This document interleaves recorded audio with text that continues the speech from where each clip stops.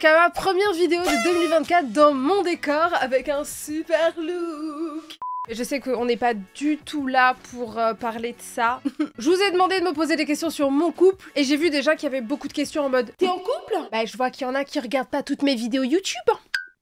Ça fait plaisir, donc pour 2024 on prend des bonnes résolutions, s'il vous plaît. Oui, madame. Pardon, madame. La vidéo elle était bien.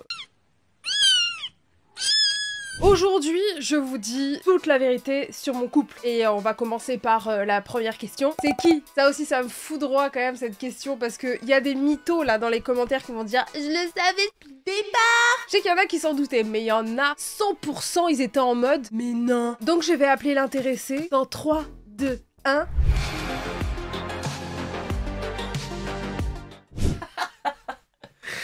Putain, faut Ça encore que je monte la, ca- la caméra, Ah oui, t'es trop grand frère. Je le savais que t'étais petite. Rappelons ta taille. Aucune idée. je dois faire 1m84.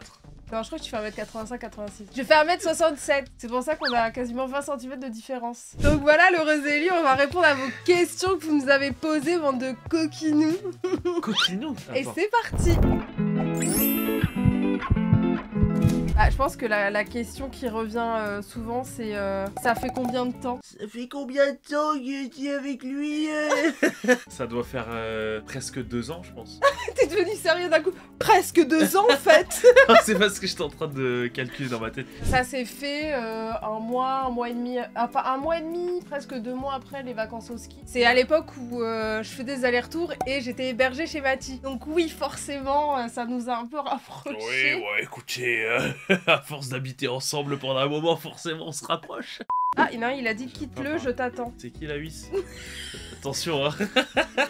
Je vais le démarrer, cet enculé. Il y a eu des questions en mode comment ça s'est passé? En fait, les gens se rendent pas compte, mais je pense que c'était vraiment un truc inattendu. Même les Seven, ils disaient c'est impossible. Ouais, bah en, en vrai, ouais, c'était vraiment littéralement le truc improbable. À la base, on était potes. Pensais jamais à sortir avec toi ou faire des trucs avec toi. C'était impossible. Comment Genre, ça faire des on trucs était avec moi juste potes. Écoute, Donc, on va pas aller plus loin. écoute, En vrai, on s'est rencontrés il y a deux ans et demi. Sauf qu'à l'époque, on se rend pas compte, mais Mati, en vrai, dans les Seven, c'est celui avec qui je parlais le.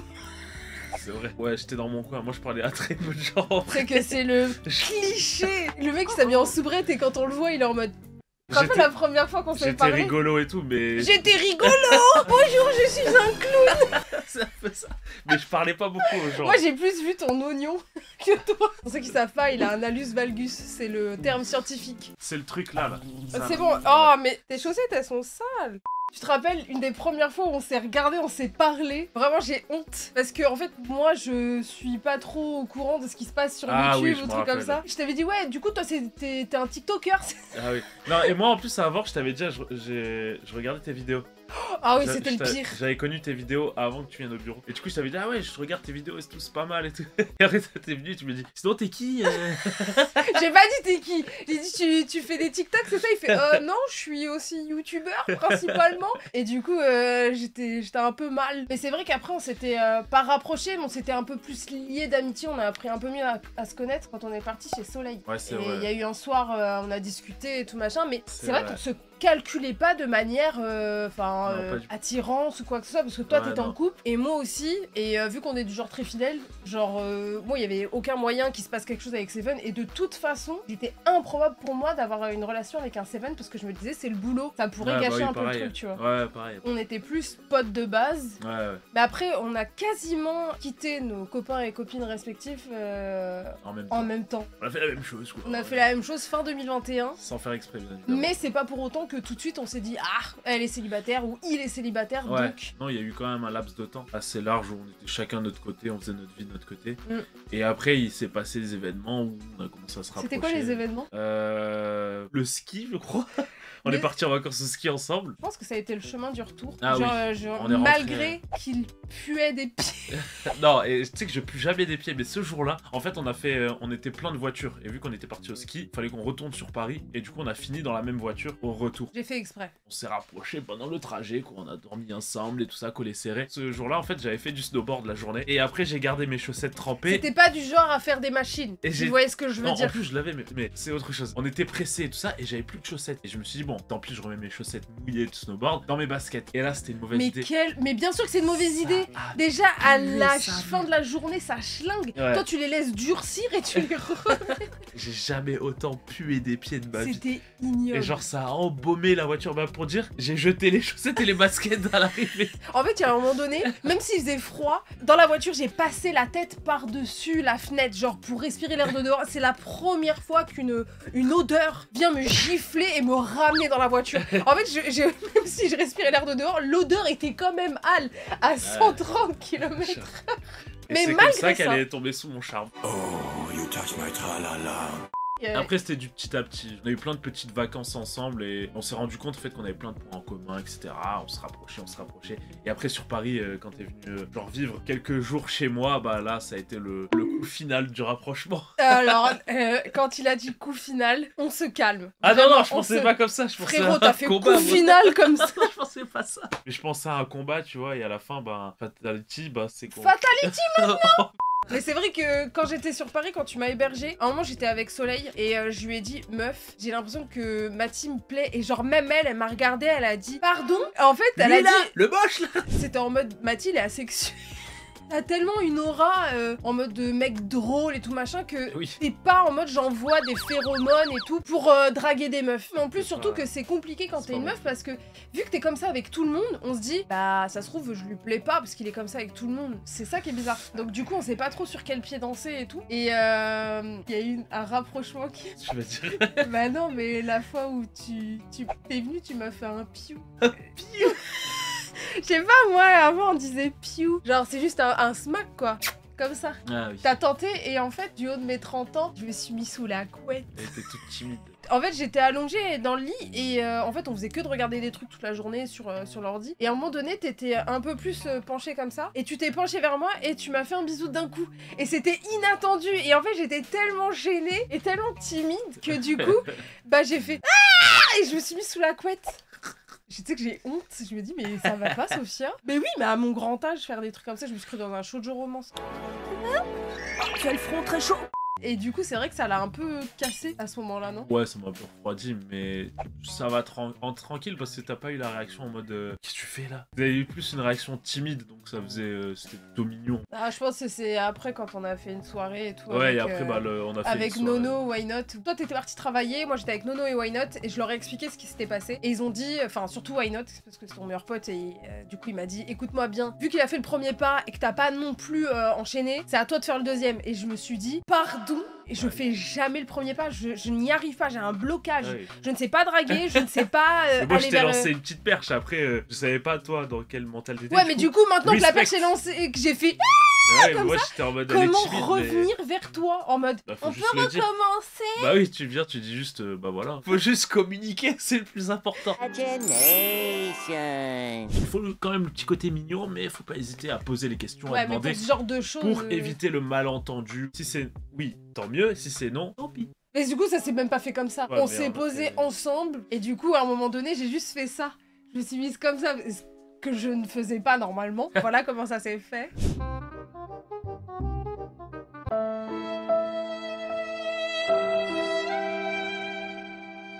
Pourquoi lui et est-ce qu'il accepte ta collection? Tu sais qu'il y a deux questions problématiques dans, la, dans une seule. Pourquoi lui? En vrai de vrai, je pense que euh, j'ai eu pas mal de relations. Enfin, pas mal de relations. J'ai connu quelques gars, mais en gros, j'ai pas non plus beaucoup, beaucoup de relations. Mais j'ai eu des, des relations très longues, dont une de 8 ans et une de 2 ans. Et j'ai du mal à tomber amoureuse. Mais en fait, Mathis, c'est la première fois que je me mets en couple avec quelqu'un avec qui je suis pote à la base. Toutes les personnes avec qui j'ai été en couple avant, c'était en mode, euh, bah, il est mignon, euh, il vient me tchatcher, un truc comme ça. À l'époque, c'était sur Facebook pour mon ex. Et on s'est rencontrés, on s'est mis ensemble. Donc en fait, j'ai appris à connaître la personne vraiment une fois qu'on était ensemble. Alors que, euh, bah, Mathis, je le connaissais déjà et c'était déjà un pote, donc c'est déjà une première. Et pour le coup, je trouve que je suis beaucoup plus épanouie avec toi. Étant donné que déjà on a le même métier, qu'on a la même passion, On n'a pas le même maillot, mais on a la même passion. Qu'on rigole beaucoup, on parle beaucoup ensemble, enfin, il y a une alchimie de fou. Je m'y attendais pas et je me suis laissée porter là-dedans et en vrai, c'est plus apaisant qu'autre chose. C'est beau. Et pourquoi je moi valide. du coup? Ah, moi, je dois dire pareil. Oui, j'ai décidé. Euh, tout Il doit pareil. y avoir une question. Quoi? Tout pareil. Moi, je suis là, je sors des déclats. Il a dit tout pareil. Mathis, t'as Non, vas-y, 10 vas-y. secondes. Vas-y, je le dis. Alors, en vrai, j'ai pas eu beaucoup de relations. Moi, j'en ai eu une très longue. Après, j'ai jamais eu vraiment d'autres grosses relations aussi longues. Et euh, C'était plus des, euh, des relations éphémères Ouais, que j'ai rencontré en soirée et après, c'était pas. euh, Ouais, c'est un coup d'un soir, quoi. Oui. oui, on va dire ça. Et après, c'est vrai que je sais pas pourquoi, mais en fait, on s'entend très bien. Enfin, il y a plein de points communs. On se comprend sur plein de trucs. Et aussi, il y a l'aspect aussi que moi, j'avais pas dans mes dans mon autre relation, surtout. À part tous les points positifs, j'ai pas tous les cités, mais il y en a beaucoup. Euh, Oh là là, mais quel mais chef d'orchestre, non, le- mais t'es très fort. Non, non, le... Pour pas les citer, il a dit il y en a beaucoup, donc euh, une prochaine fois. Ouais, non, parce que c'est un peu ce que t'as dit en fait, t'as as déjà tout dit. Mais c'est l'aspect euh, culturel aussi. T'as un peu un aspect multiculturel que j'ai aussi et que Ah, du oui. coup j'apprécie fortement. Euh, Il y a que je des bons tagines. il y a le côté tagine, après il y a le côté, euh, je sais pas, saucisson, il y a tout mélangé, tu vois. Et c'est un peu, c'est un peu ma culture aussi, tu vois. En fait, Le côté tagine, le côté sauciflard. Ouais. c'est ça. Et il y a aussi le côté, genre, euh, on aime les mêmes trucs et on peut parler des mêmes trucs, genre que ça soit musique, les films aussi, cinéma, il y a- on a plein de points en commun sur le cinéma, on aime Oui. à peu près les mêmes films, tout ça. En fait, tout sauf ça, et du coup, t'as pas encore vu, tu peux pas juger. Ça m'intéresse pas. Tu vas voir. Oh, les violences conjugales. Oups Oups, oupsie. Et en gros, du coup, on peut parler et débattre sur plein de sujets comme ça, tu vois. Est-ce que le fait de travailler dans le même milieu que ton copain est une plus-value pour ton métier? En vrai de vrai, de ouf. Ah, clairement, vu que j'ai commencé les réseaux, j'étais avec quelqu'un qui était pas du tout dans le milieu. Enfin, vous le voyez déjà au niveau des couples hein, qu'il y a euh, dans les youtubeurs, créateurs de contenu. Beaucoup sont créateurs de contenu entre eux ou alors, euh, par exemple, Travailler Sora. dans le métier. Sora et, Ouais. euh, et Adeline. Adeline, elle est euh, comédienne de doublage et elle connaît tout ce milieu-là. C'est-à-dire qu'elle peut avoir des horaires euh, what the fuck, elle peut avoir des soirées aussi de lancement le soir, Ouais. des trucs comme ça. Donc elle connaît le milieu, elle sait ce que ça implique. Donc c'est-à-dire que euh, moi, quand je live, lui, il écrit ses vidéos ou euh, enfin, on se lève tous les deux tard le matin parce qu'on travaille beaucoup euh, de nuit. Donc on a les mêmes horaires. Il n'y a pas cette frustration Ouais. de toi, tu te lèves le matin, tu prends le métro, tu vas bosser à un truc et l'autre. elle travaille à la maison, elle fait des vidéos, elle gagne sa vie comme ça, ça peut créer un, Ouais, un petit fossé. Un mais en- ouais, mais en fait, c'est surtout que on se comprend. Par exemple, toi, quand t'es stressé pour une vidéo ou tu sais, en fait, je peux comprendre le truc parce Mm. que j'ai la même chose. Bah, quand j'étais avec mon ex, elle était pas du tout là-dedans. Elle était dans la communication, mais pas du tout dans le monde d'internet. tout Ça, elle connaissait, mais pas, pas autant que moi, tu vois. Des fois, elle comprenait pas certains trucs, tu vois. Des fois, je dis, ouais, je vais me filmer comme ça dans la rue, et la, la personne qui est à côté, elle va me regarder en mode, euh, comme ça, en mode. Alors que toi, tu comprendrais si je fais ça. tu- Je peux même te tenir le téléphone, Voilà, ça, tu vois, euh, te, te dire ouais, fais plutôt ci, fais plutôt Ouais, ça. ça. En plus, on se donne des conseils entre nous. Ouais, voilà ça. Et en fait, le fait d'avoir le même métier, forcément, ça, ça aide de fou dans, dans Ça les aide. trucs. Puis même si moi je vais pas bien par rapport à ça, il va savoir de quoi je parle. Quand tu parles à quelqu'un qui n'est pas dans les réseaux sociaux et que tu lui dis ouais je me sens mal par rapport à ci, ça, ça, il va peut-être pas forcément trouver les mots ou quoi que ce soit. Je dis pas, tu peux avoir un copain ou une copine qui est pas du tout là-dedans. Et ça va être quand même compliqué dans le sens où bah, il va pas te comprendre à 100%. Ouais. Et je te dis, il y a une chance sur deux que euh, ça passe pas. Genre, la personne va vouloir des fois apparaître dans tes vidéos ou être inclus dans ton monde. Et toi, des fois, tu ne veux pas. Euh, tu repousses le truc, genre en mode c'est ma vie privée. Si elle est pas sur les réseaux, je veux pas l'exposer ou des trucs comme ça. Après, ça Un peut plus. fonctionner, ça peut fonctionner. hein. Oui. On dit pas que c'est impossible, Ah oui. ça peut fonctionner, mais c'est un gros plus. Moi, Et de on ce le que j'ai voit vécu, dans- ça ne fonctionne pas. Et on le voit dans tous les, dans tous les domaines en vrai. Il y a beaucoup de gens qui se rencontrent euh, travail, etc. Donc, ça Même tu prends les pour les acteurs, euh, des Oui, chanteurs, vrai. euh, des producteurs avec Ouais. des chanteuses, euh, des acteurs entre eux. Ouais. Et en fait, ce qui, est, tellement ce qui est marrant aussi, c'est que quand tu rentres dans le monde un peu de l'internet et tout ça, en fait, tu, Oui. tu te crées une bulle et il y a beaucoup de gens qui Tu vas sortent. perdre des gens. Ouais, tu perds beaucoup de gens. À part les vraiment ça, vieux, vieux Ouais, potes. ça. Par contre, euh, oui, j'ai des potes à l'ancienne. Oui, c'est normal. toujours pote avec eux, etc. C'est normal quand ça fait plus de 10 ans que vous connaissez tu et encore, euh, moi j'en ai. Sur Paris, j'en ai ça- perdu 3. Hein. Ça rétrécit quand même. C'est parce qu'on est un peu en décalé par rapport à d'autres Au reste, emplois, euh, ouais, c'est- euh, leur emploi du temps. Pour répondre à la question, oui, ça aide. Voilà. C'est quoi le plus gros défaut de l'un vu par l'autre? Vas-y, commence. Bah, je vais en dire plusieurs. Là, il s'exprime vite pour dire oui, euh, pourquoi je suis avec elle. Et t'es là, oh, bullet chance, je sais pas. Et là, alors je vais en dire plusieurs. Le mec, il- mais sors ton, ton truc. T'as pris des notes Va chercher tes notes, frère. Je suis outré. ça va, je rigole. Vas-y, donne-en trois. Parce qu'apparemment, t'as une longue liste. il va dire, putain, lesquels choisir Merde. Je pense qu'il est un peu trop tôt pour faire un choix. D'accord. Mais mon choix est fait. Celui, ce- celui qui me saoule le plus, ton côté un peu, euh, genre, pas, pas instable, mais un peu, tu vois, genre euh, psychologiquement, genre comment dire, genre tu, en fait, J'en ai marre des dépressifs, rien à foutre de ta dépression La fou de ta dépression. J'appelle Thibaut InShape tout de suite Tu vas faire un feat avec lui Non, mais oui, t'es facilement touché par des trucs qui ont pas lieu d'être, tu vois. Ton humeur, elle est comme ça, et d'un coup, elle chute d'un coup euh, pour euh, pas grand chose en fait. Bienvenue dans le monde des dépressifs Bon, pour sa défense, il doit quand même subir toutes les crises que je fais à la maison, les, les moments où je, je pète les plombs, tout machin. Donc c'est lui qui est là à ce moment-là. Donc euh. et deuxième, Je dirais, tu sais pas gérer euh, tes dépenses. c'est pas toi qui me dois deux loyers? Oui, mais moi, je. C'est notre histoire. c'est pas ma faute. C'est pas ma pas faute. ma faute. Et du coup, aussi, t'accumules beaucoup de trucs.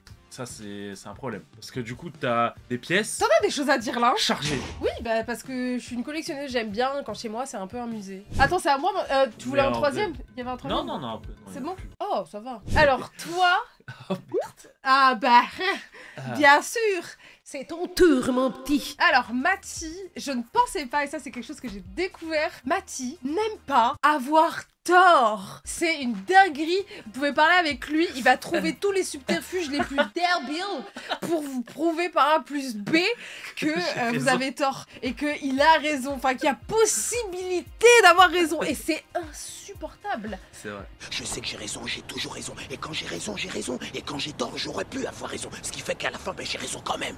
Là, ça le saoule, t'as vu, il se tire la glotte. Non, mais c'est vrai. Enfin, c'est vrai. Mais des fois, j'essaie de progresser sur ça. Je, je- l'ai dit plusieurs fois. hein. J'ai dit des fois, t'as raison.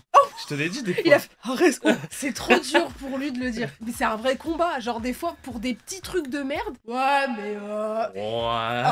oh, et il va commencer- c'est très français. Oh, et il va commencer comme ça et ça me rend ouf. Un autre défaut, même si moi j'accumule beaucoup de choses, j'essaye de faire en sorte que chaque chose soit rangée à sa place. Et c'est vrai que Mati, et là il va te dire parce qu'il n'aime pas avoir tort, c'est que lui, s'il habitait tout seul, serait pas un problème parce que lui il aurait pas autant d'affaires. Donc en vrai, ce serait pas le bordel. Mais dans le cas où tu vis à deux et que forcément t'accumules des affaires, c'est normal. Quand t'arrives et que tu laisses tes chaussettes dans des lieux différents ou tes moustaches de, de cosplay collées sur mes meubles, parce que bah si je les range, bah elles vont se plier entre elles, je pourrais plus les réutiliser. Bah oui, j'adore avoir vrai. tes moustaches collées sur mes meubles. Ça fait de la déco. Dites en commentaire, c'est marrant une déco moustache. De temps en temps, les petites moustaches collées là, comme ça, c'est marrant. Ouais, c'est marrant. Vous voyez le, le couplet? Vous avez vu tout l'orchestre qui est avec lui pour prouver sa connerie? Et c'est ça tous les jours. Non, ça va. Mais je t'ai pas demandé ton avis en fait. Moi je me suis pris, ouais, j'en ai marre que tu sois dépressive, et j'ai fermé ma bouche. J'ai pas dit ça. Question suivante. Avez-vous déjà BZ Non. Non, c'est euh, après le mariage. Des enfants en perspective. Quand l'heure sera venue. Mais tu rejettes pas le truc. Ah bah non, mais euh, pas maintenant. Ah oui, non, pas maintenant. Bah, après, euh, je vais pas les avoir à 40 ans. Euh, hein. déjà pas si loin de 40 ans là. Je vais, eh, je vais démarrer. Comptez-vous vous marier?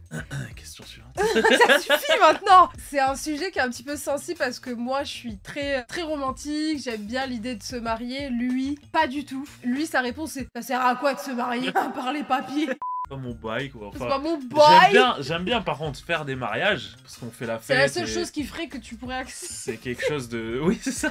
On va c'est faire une grosse soirée avec tout le monde, je vais juste arriver avec une robe blanche. T'inquiète pas, ça va bien se passer. Coucou C'est quoi le plus gros débat manga que vous avez entre vous? Ouais, je sais pas. hein. Euh, Il y en a eu quand même. Il y en a eu, mais j'arrive pas à m'en rappeler là. J'arrive pas à me dire, euh, il y a eu un gros débat houleux. Bon, Après, on est souvent d'accord ou la plupart du temps, euh, des fois, j'ai pas d'avis.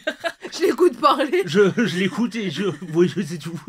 je regarde l'animé, mais c'est tout. J'ai pas de. J'ai pas d'analyse, quoi. Ah si, Izzy Sekai, toi t'aimes bien. c'est vrai que c'est bien. En fait, c'est bien, mais il y en a trop. Et elle, elle dit que du coup, c'est nul à tous les coups. Non, j'ai pas dit c'est nul à tous les coups, parce que j'adore Sword Art Online. Après, ouais, il y a des animés genre euh, que je kiffe et que elle, elle veut pas faire l'effort de regarder. Genre, euh, moi, quand je me réincarne en slime, tu vois, des petits trucs comme ça.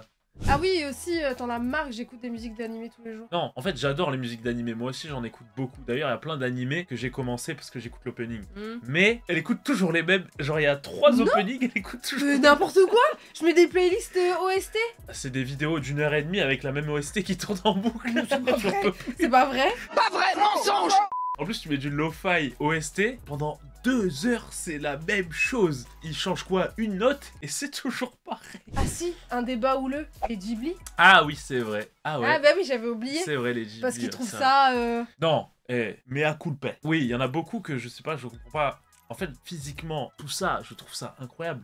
La beauté et tout ça. Mais le scénario, je, des fois, je comprends pas pourquoi il y a autant de hype sur le scénario, alors que j'ai l'impression que des fois, Miyazaki, des fois, je me dis, il part trop dans tous les sens, tu vois. Alors que elle, elle est en mode. euh, Oh, c'est incroyable Et moi, je. Oui, c'est bien. Question suivante. Ah oui, on nous a demandé euh, est-ce qu'on habitait ensemble? Oui. Et en fait, ce qui me rend... J'avais trop envie de roter depuis tout à l'heure. Kevin, tu me dégoûtes. Ce qui me rend ouf, c'est qu'on habite ensemble depuis quasiment le départ. C'est-à-dire que quand il m'a hébergé, j'ai eu mon appart, il a directement été euh, chez moi. Bah, limite, on a habité ensemble avant de- d'être ensemble. Oui. Parce que tu vivais chez moi, j'avais un autre appart. Et après, on s'est mis ensemble. Et après, toi, t'as eu ton appart. Ouais. Et du coup, j'ai dit, bon, viens avec toi. À la base, je venais. En fait, je partais jamais, en fait. Non Et bah, du coup, j'ai dit, bon, bah, je reste dans l'appart. Voilà, le squatter. Mais en fait, ce qui me rend ouf, c'est qu'il y a eu plein de stories, plein de trucs. En fait, on voyait qu'on était dans la même pièce. Moi, on faisait plein de vidéos, plein de stories, plein de trucs où on était dans la même pièce et personne remarquait. Personne On- captait. En fait, son décor YouTube, bah, c'est chez moi. J'ai vu zéro commentaire, zéro message. Ça, ça me tue parce que euh, tout le monde pensait que j'étais avec Nono. Et... Parce que vous faites des vidéos ensemble, c'est juste ça. Bah, ensemble, on a fait plein de vidéos ensemble Ouais, aussi. On vrai, est allé au Japon ensemble, et en fait, les gens se sont dit Bah, t'es comme mon frère, t'es comme mon meilleur pote. Elle est belle l'amitié. La dernière question, je te laisse la choisir. Si tu devais choisir entre Itachi ou moi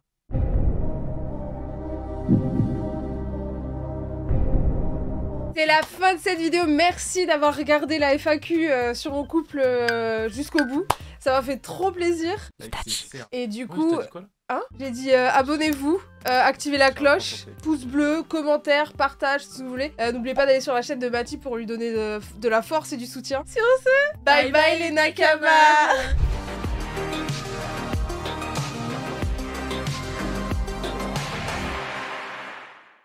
Yes, yes.